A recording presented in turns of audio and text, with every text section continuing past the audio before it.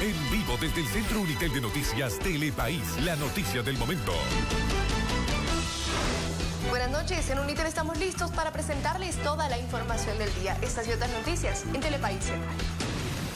Peligro en San Pedro, se registra un nuevo derrumbe en la calle Nicolás Acosta, una familia es desalojada. Continúan los trabajos. Alcaldía realiza labores de estabilización en la calle 23 de Calacoto. Trabajos de prevención. La alcaldía monitorea los ríos de La Paz para evitar desbordes por las lluvias. Niños perjudicados suspenden clases en el colegio Hugo Chávez. La lluvia entra a las aulas prefabricadas.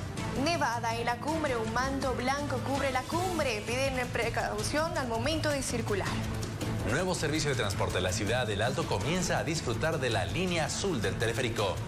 Papeles de Panamá, la comisión que investiga el caso convocará a familiares de Samuel Doria Medina. Fin a un conflicto. A través de una orden judicial se levanta el bloqueo en el puente de la amistad. Controles de la Intendencia realizan operativos de control en el mercado Camacho. Varios puestos han sido cerrados. Suben los precios, el costo de las frutas y verduras se incrementan por los desastres naturales.